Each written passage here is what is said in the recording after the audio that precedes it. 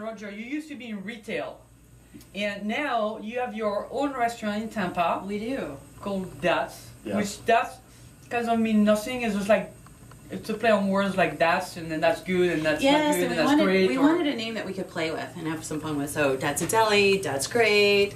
And you it's know, easy Datz to Tampa. remember. Easy to remember. We just we were. It was a fun word. so you started what ten years ago? Ten. ten?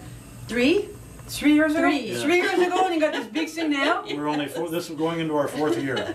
So we're just a little over three years old. So you started with a little tiny little deli, like five tables, and now, now you have this. That was the idea. We were going to start with this little tiny little place, and we've ended up in this with this huge seven day a week busy place. I mean, we love it, but we're we're accidental accidental restaurateurs. We weren't expecting such a big place, so busy. It's two levels, It's and, two then, and, then, and then you have two bars, and then Two uh, bars, and then uh, here on, on sometimes on, three bars. on, on Sunday, Saturday and Sunday brunch, like don't even come because Uh, we go on a two-hour wait. two hour, wait, yeah. Well, we want you to come, but it'd probably be better for you if you don't come between 11 and 1.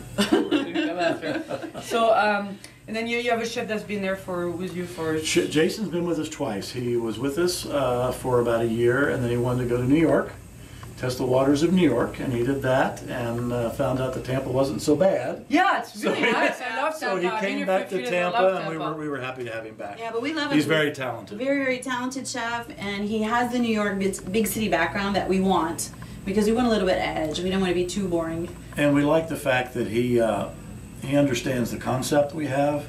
It's upscale comfort food, and a lot of chefs want to do their own thing.